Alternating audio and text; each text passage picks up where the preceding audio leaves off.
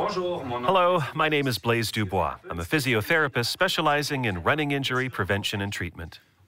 Today, our short segment will focus on the neuroproprioceptive taping to treat patellofemoral pain syndrome. We'll first ask our patient to step down off a normal height step three times, using the affected leg as the weight-bearing leg and register the symptoms.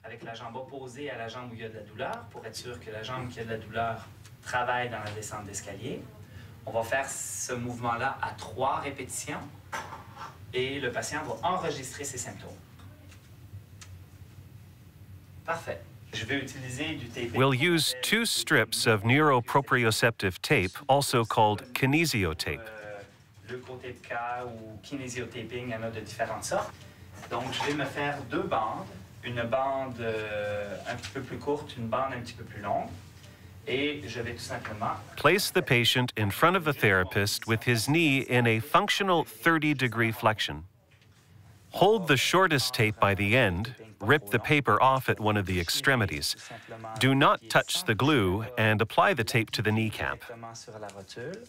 Remove the paper and apply it with a 75% tension by pulling medially.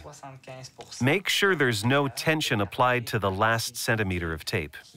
Make sure you rub the tape so that it'll stick properly. For the second strip, rip the paper halfway and apply it vertically to the lateral part of the patella. Apply tension medially to both the top and bottom strips. Remember to anchor it without any tension at the end of the tape.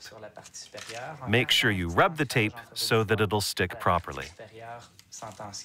Et nous allons faire la même chose sur la partie inférieure. Donc, encore une fois, bien frotter par la suite, comme ça, et le taping est final. To measure taping efficiency, ask the patient to repeat the step down exercise three times to see if there is less pain with the tape.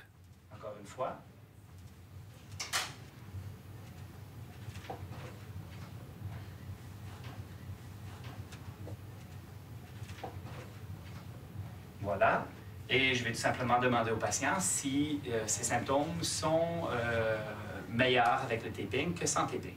Voilà. We hope this short segment will help you with the follow-up of your running patients. If you need further information about running injury prevention and treatment, please don't hesitate to contact us at therunningclinic.ca.